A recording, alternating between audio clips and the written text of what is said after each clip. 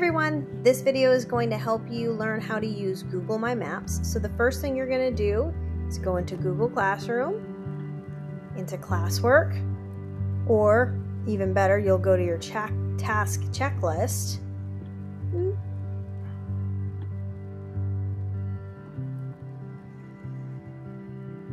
And you're going to find Google My Maps practice, wherever that is on your checklist, and open it up.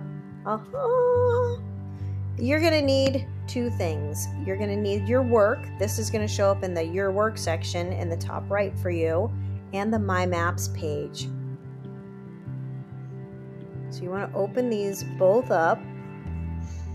And I'm just going to focus on the My Maps piece now. So you're going to click Get Started.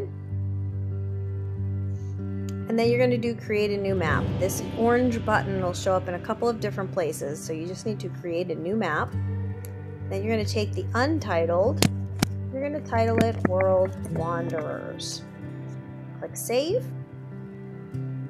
Now you're going to be able to go back and forth through the practice. What's really cool is you can X things out like that and strike them out as you complete them. So as you complete a step, you want to do those. You've already completed those first two.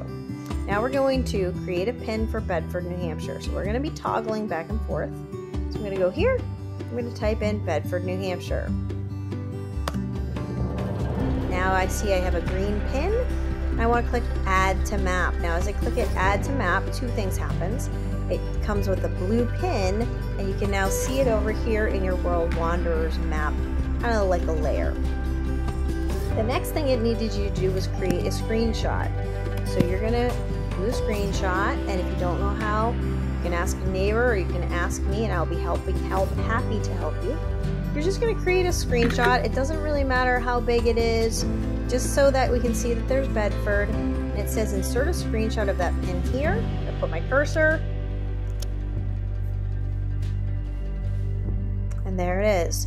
So then, since I finished that, click that pin. Now I'm going to worry about the next one. Pittsburgh, Pennsylvania, USA is blank miles from Bedford, New Hampshire, USA. I'm going to go back to my map and I'm going to type in Pittsburgh. And then there's a whole bunch that come up. So I'm going to choose Pittsburgh, PA. It's a green pin, so I need to add to map, turn it into a blue pin, and I can see it over here.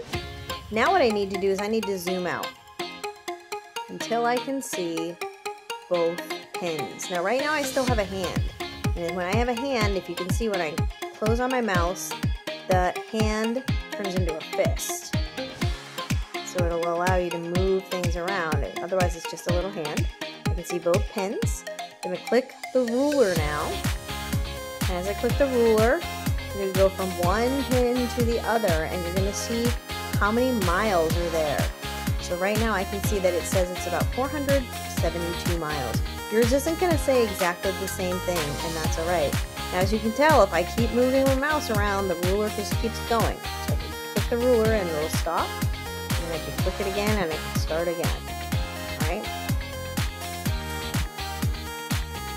I'm going to type in however many miles I think it is, blah, blah, blah, and then this. And that's how you're going to be able to continue with the Google My Maps activities. So keep following through the checklist and finding some different things and using the ruler. Hopefully this is really helpful for you, World Wanderers.